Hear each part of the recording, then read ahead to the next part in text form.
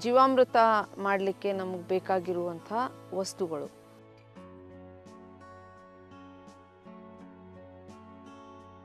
ಅದರಲ್ಲಿ ಒಂದು ಬ್ಯಾರಲ್ ಅಂದರೆ ಇನ್ನೂರು ಲೀಟ್ರಷ್ಟು ನೀರು, ಹತ್ತು ಕೆ ಜಿ ಸಗಣೆ ಹತ್ತು ಲೀಟ್ರು ಗೆಂಜಲ, ಎರಡು ಕೆ ಜಿಯಷ್ಟು ದ್ವಿದಳ ಧಾನ್ಯದ ಹಿಟ್ಟು.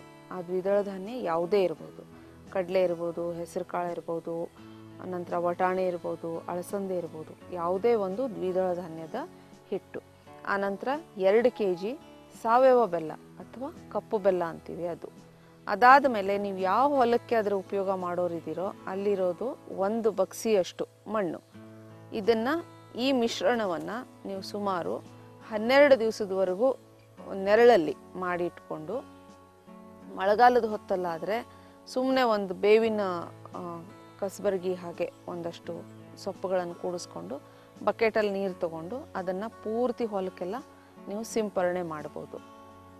ಬೇಸಿಗೆಯಲ್ಲಾದರೆ ನೀವೇನು ನೀರನ್ನು ಕೊಡ್ತಾ ಇರ್ತೀರೋ ಆ ನೀರಲ್ಲಿ ಇದರ ಮಿಶ್ರಣವನ್ನು ಕೊಡ್ಬೋದು. ಪ್ರತಿಯೊಂದು ಬೆಳೆಗೆ ಸುಮಾರು ಒಂದು ಅಥವಾ ಎರಡು ಡೋಸ್ ಕೊಟ್ಟರೆ ಸಾಕು. ಅತಿಯಾಗಿ ಕೊಟ್ಟರು ಕೂಡ ಬೆಳೆ ಸುಮ್ಮನೆ ಬೆಳೆಯುತ್ತಾ ಹೋಗುತ್ತೆ. ಅದರಲ್ಲಿ ಒಂದಷ್ಟು ಸರ್ತಿ ನಮಗೆ ಅಪೇಕ್ಷೆ ಇರುವಷ್ಟು ಫಲ ಬರಲ್ಲ. ಯಾಕಂದರೆ ಇದರಲ್ಲಿ ನೈಟ್ರೋಜನ್ ಪ್ರಮಾಣ ಜಾಸ್ತಿ ಇದೆ. ಇದಕ್ಕೆ ನಮ್ಮ ಬೆಳೆಗಳಿಗೆ ಬೇಕಾಗಿರುವಂಥ ಪೋಷಕಾಂಶಗಳು ಮತ್ತು ಸಾಕಷ್ಟು ಥರದ ಜೀವಾಣುಗಳು ಇದರಲ್ಲಿ ಇರ್ತವೆ. ಹೀಗಾಗಿ ಬೆಳೆಗಳನ್ನು ಸುಮ್ಮನೆ ಬೆಳೆಸೋದ್ರಲ್ಲೂ ಅರ್ಥ ಇಲ್ಲ. ಆ ಬೆಳೆಗಳಿಗೆ ಕಾಳು ಕೂಡ ಬರಬೇಕು ಅಂದಾಗ ಒಂದು ಸರ್ಟನ್ ಪಾಯಿಂಟ್ವರೆಗೂ ಇದರ ಸಪೋರ್ಟ್ ಕೊಡೋದು ಒಳ್ಳೆಯದು